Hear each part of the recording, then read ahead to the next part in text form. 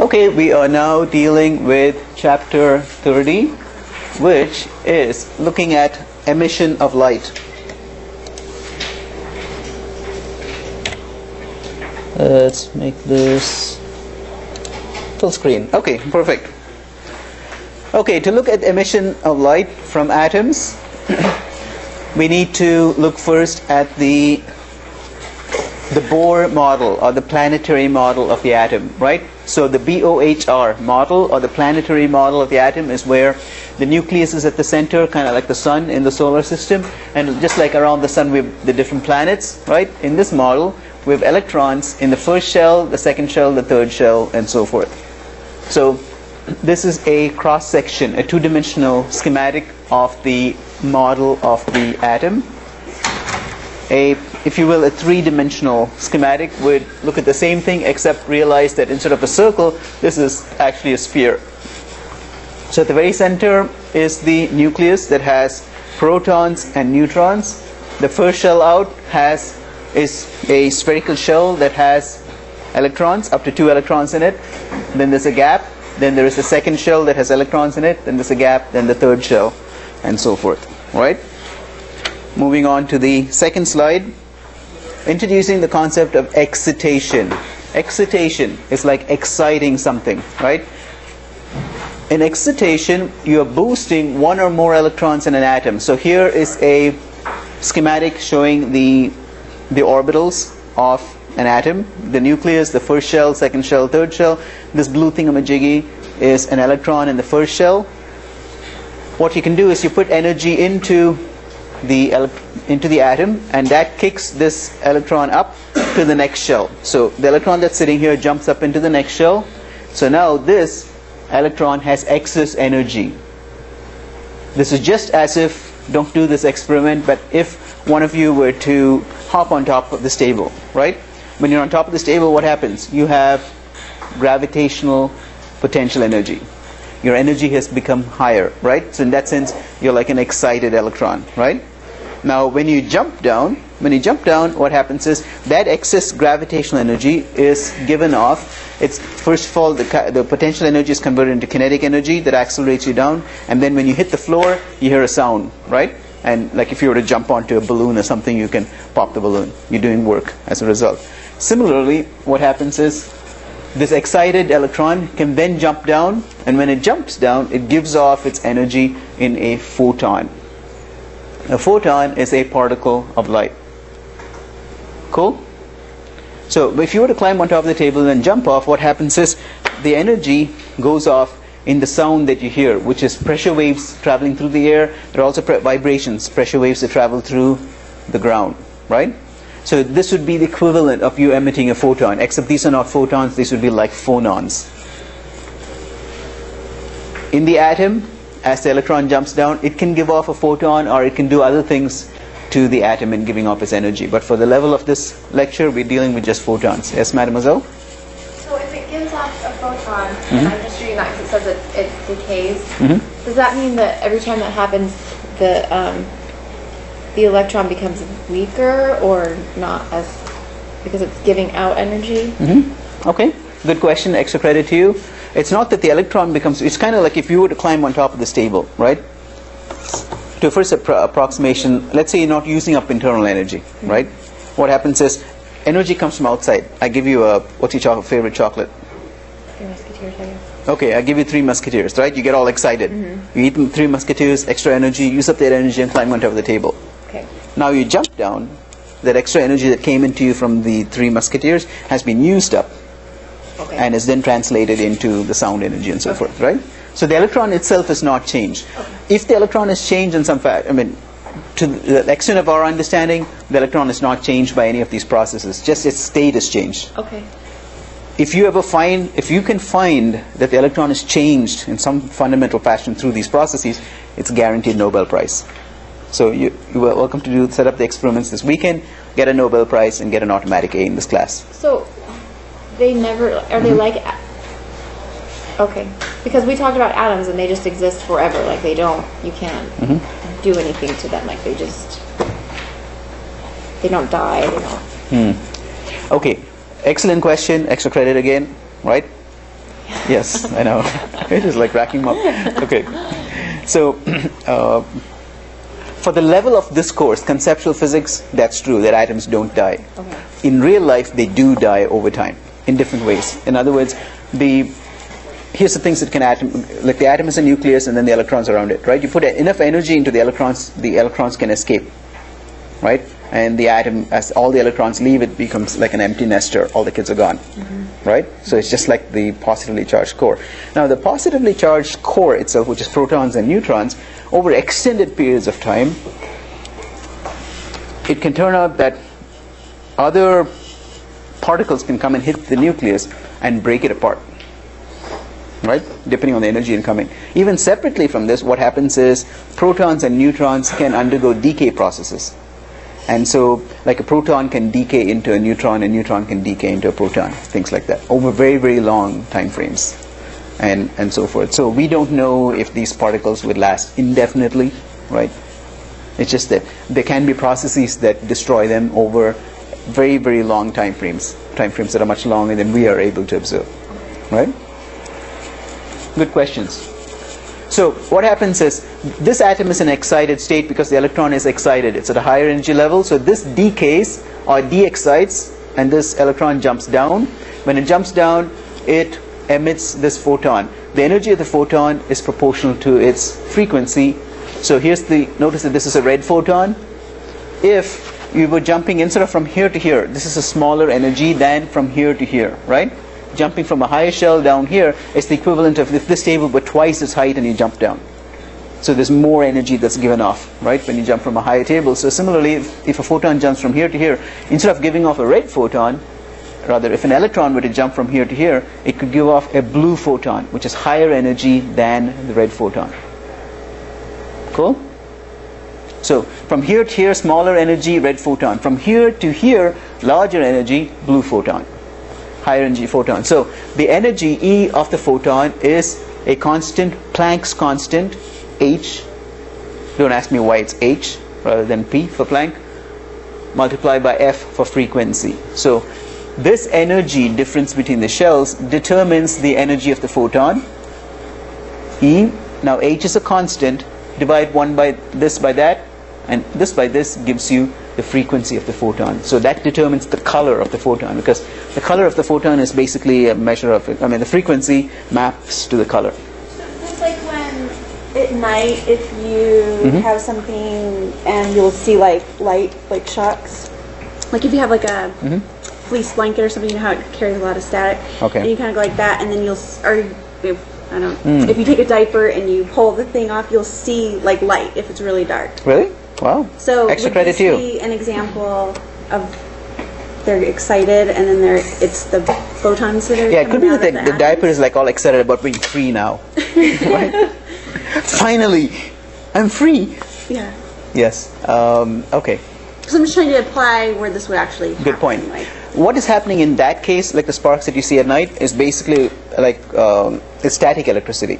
okay. where it's electrons are actually moving from one place. Like when you peel off this, the tag from the diaper or whatever, what happens is some electrons go with this tag that should have been there. So this becomes negative, positively charged, that's negatively charged. Then at some stage, the negative charge electrons leap across to this. It's like a bolt of lightning. That's what you see as the, Okay. the spark, right? So where? What's an example of that happening? I'm just trying to apply it. Okay, the situation that you're talking of, what happens is the outermost electron gets energy when you rip it apart, oh yeah, no, I and it gets so the process that you described you're creating a hole in the outermost electron. Those electrons then go off and create lightning right? They create lightning. Now an example of this will be coming up in a future slide Okay. right? But a good segue that's perfect that's great. Extra credit so if, if we don't see an example of that remind me right and we'll talk about it okay so introducing a spectroscope a spectrum is basically the range of electromagnetic radiation, various frequencies of radiation. Spectroscope is an instrument that you use to look at the range of electromagnetic radiation. So this is an example of a spectroscope that's set up for an emission spectrum. Spectrum is the range of radiation, different frequencies. Emission is where the atoms are emitting, giving out the light. This is different from absorption, right? So emission is kind of like if you were to fling thousand dollar bills in my direction. So you're emitting thousand dollar bills, right? So so you are emitting. That's emission.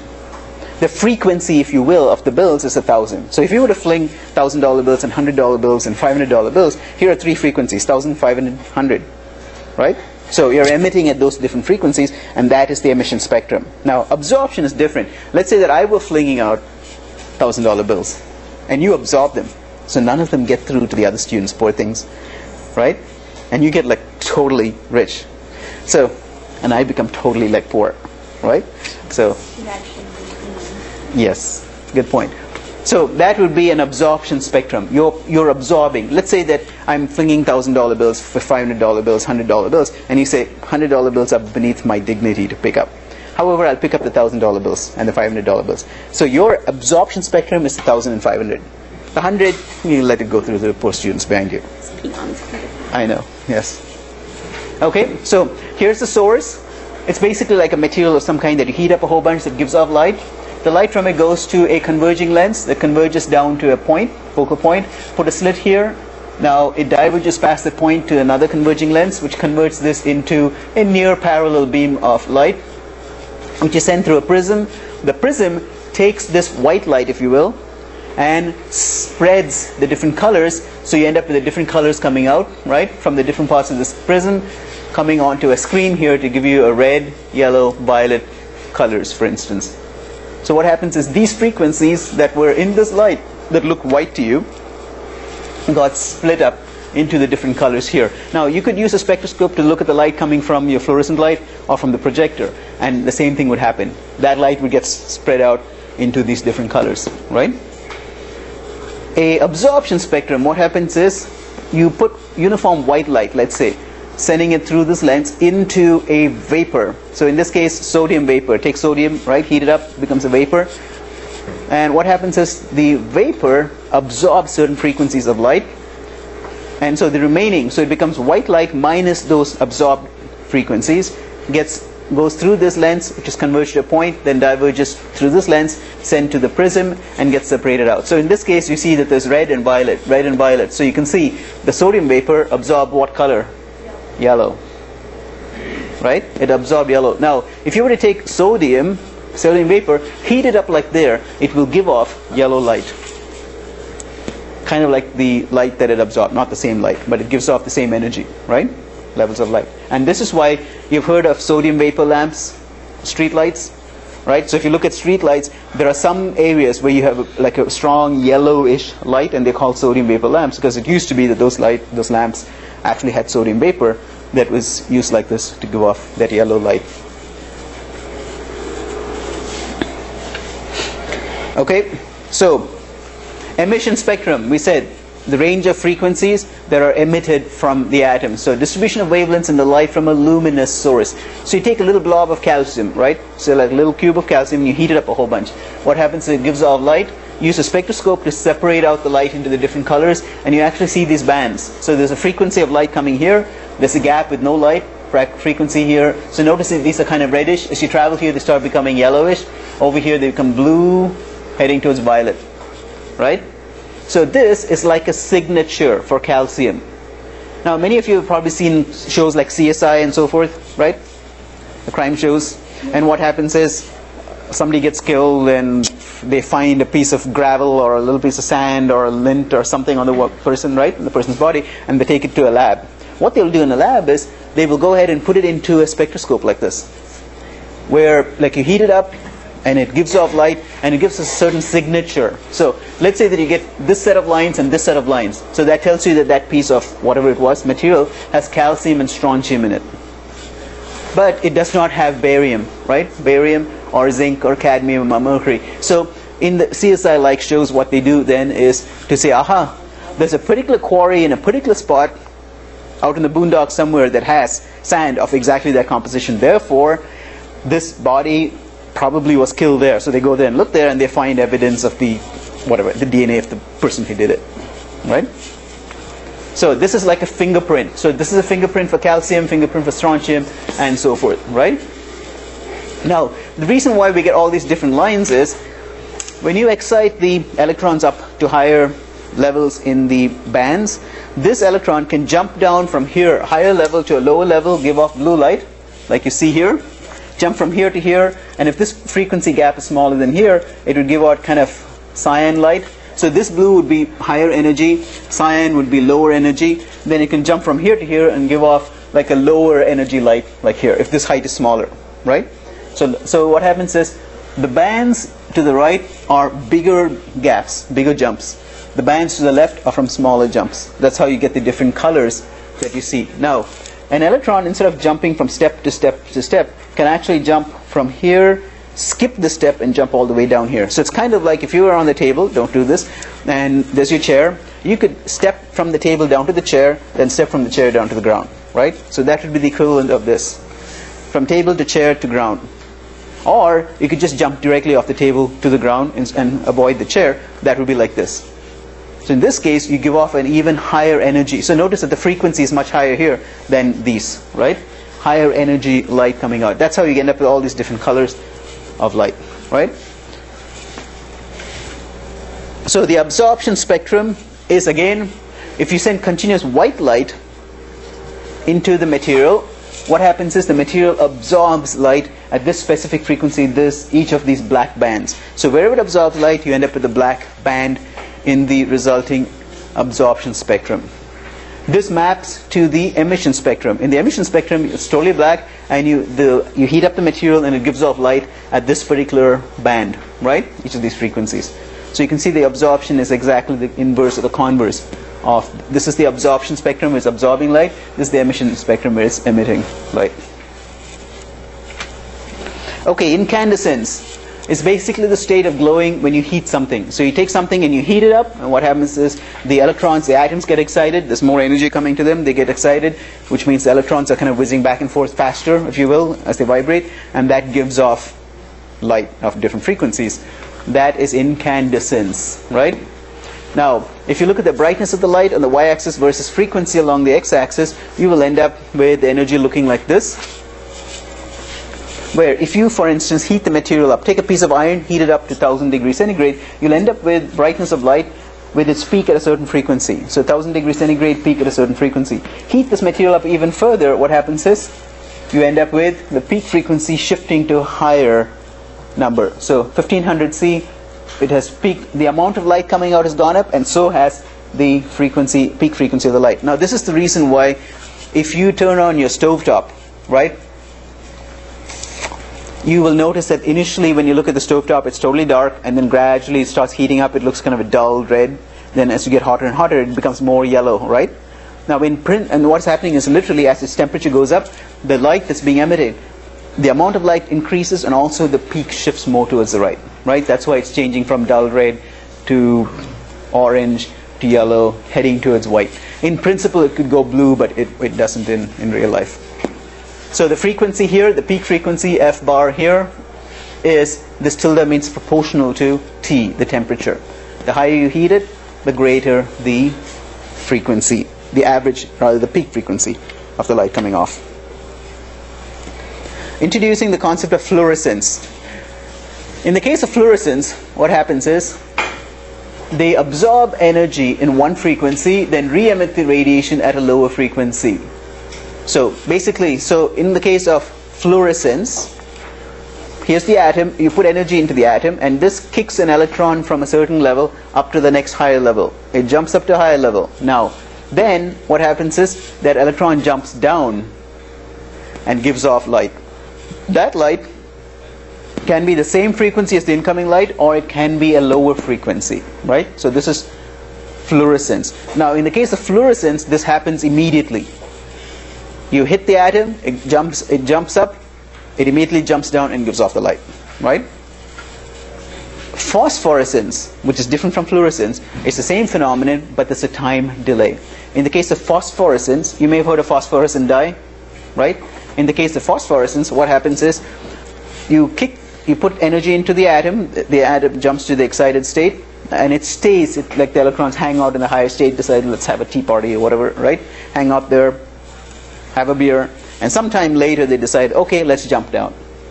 right? That's the lazy electrons. They jump down and give off their higher energy. So phosphorescence will last over a longer period of time. Have you ever noticed? You have a TV in your bedroom. You switch off all the lights. You look at the screen. What do you see with the TV off? Anybody see notice anything? What? Yep. Has anyone else noticed that?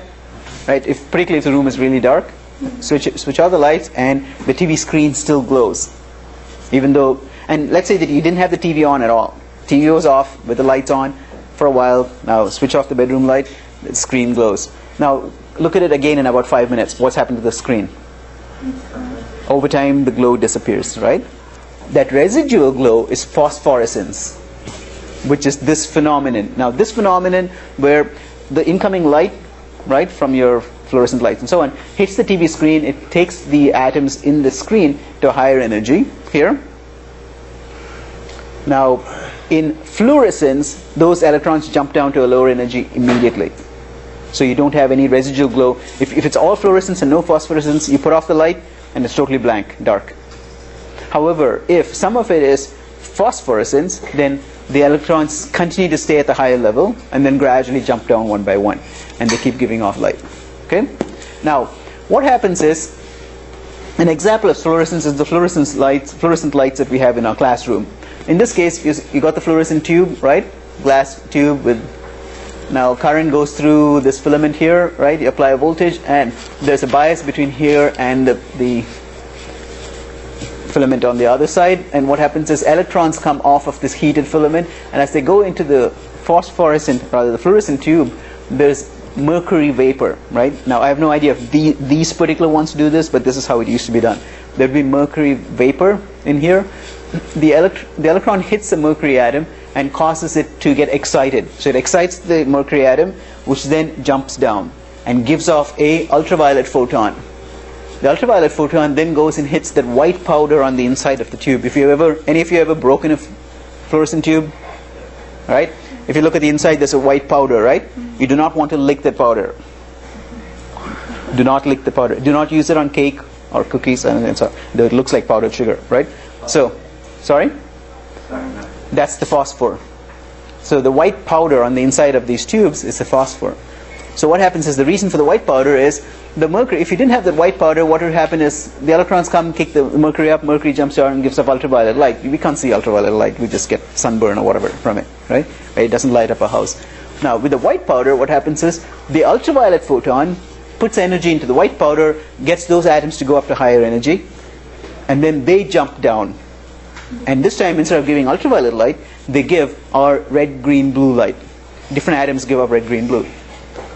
That combines to give us white light. And that's the way you can tune the color of the fluorescent lights. You know that you can buy fluorescent lights with different colors, right? I mean, like more sunlight looking, more white, blue white. And you can do that by tuning the composition of the atoms in the white powder, right? So this is an example of the application that you asked about, right? Okay, so we talked about phosphorescence. Previous slides were fluorescence, where the atom jumps up to the higher level, jumps down immediately, and gives off light. In the case of phosphorescence, what happens is the same situation. The atom becomes excited, but it hangs out for a while at the excited state, and then some jump down. A little later, some more jump down. A little later, some more jump down. So the emission of the light is time delayed compared to the absorption of the light of the energy. That's phosphorescence. Okay, these three, do you notice that there's a difference in the waves between here and there? Right? All of these are one color and they're all totally in step.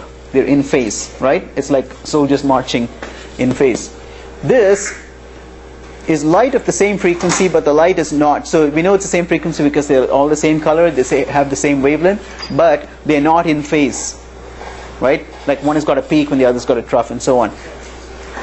In this case, what happens is you have different colors. So we've got different wavelengths and they're not in phase. So normal white light is incoherent and it's white. Incoherent, it's white because it's all these different colors and it's incoherent because they're not in phase. The next step is to make it single frequency. Instead of white light, it's all free, single frequency like, like a red bulb. But there are different phases. They're not all acting together. Now, if you get the light waves to all line up like this, so that they're all one color and they're all in phase, this is called coherent light. And that's what you get from a good laser. A good laser will have all of the wavelengths of one, all of the the waves coming out with one fre- frequency. They all have the same frequency, and they all are in phase. They're jumping up and down together, right? This kind of light is very powerful and can be used to burn hole in, holes in buildings, or it can be used. There are you probably are aware that there are uh, laser weaponry that you can use to take out IC like missiles and so on, right? So you can have a la- like a laser sitting on a satellite that can be used to take out uh, ICBM or something of that sort. I thought that was only 007 stuff. Um, yeah, some 007 stuff is a little ahead of, of the technology curve, but They've caught up. but yeah, but now there are there are laser weapons that are powerful enough to take out missiles. Right now, are they actually installed in space? I don't know. Somebody who's more into the military could probably answer that question, right? But or not answer it, or kill me as soon as they answer the question, right? They do have some installed. Okay, there's your answer. They do have some installed, but they've never been able to get them to work properly as in hit a missile in flight. Okay, so that then is the current status. Extra credit for speaking up, right? Okay.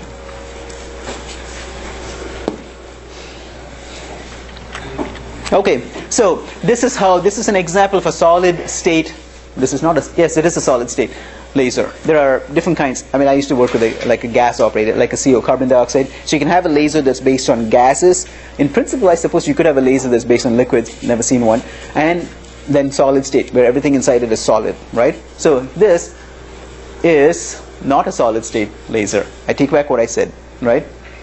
it's not a solid state laser. this is actually it's got gases in it, so it's not solid state. Okay, I've worked with solid state lasers, so anyway. So in a laser, like a lab laser, it's not uncommon. Here you can get one of these lasers that shoots out a red beam, right? So you can see this red light and bouncing out the mirror, bouncing out the mirror and heading off. So it's inside this thing, this laser.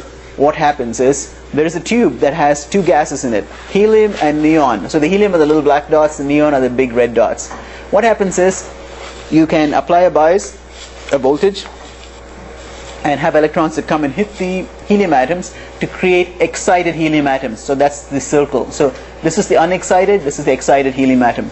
Now what happens is the excited helium atom then goes and interacts, it bounces if you will off of a neon atom, minding its own business, neon atom gets excited. It's like all of a sudden if you were to go and jab your neighbor, right? And so you get excited, I give you candy or chocolate, you get excited and you jab the neighbor and she says, what's up with that? Right? Or something of that sort, right? So you're the helium, you get excited, you then go and bounce into the neon neighbor and get the neon neighbor excited. Now what happens is the neon neighbor that's excited jumps down, the electron of the neon jumps down and gives off a photon which will go off in different directions. The photon emission is typically random. It can go off in different directions, right? So that's why these lines are heading off in different directions. Now, some of these lines, by, by random chance, if you will, are traveling parallel to the length of this laser. So they travel along these lines, and what happens is the photon at the end comes to a mirror, right? And the photon bounces back. So it bounces back and travels here, bounces off a mirror, travels back. So it travels back and forth. Now, an unusual property of these photons slash the system is that a photon that is whizzing by, say, let's say there's a photon that's traveling here, it comes and bumps into you. And what happens is you give off your excited energy. So now we've got two atoms, two photons, right? Say, let's say the photons miss you, but then they bump into you.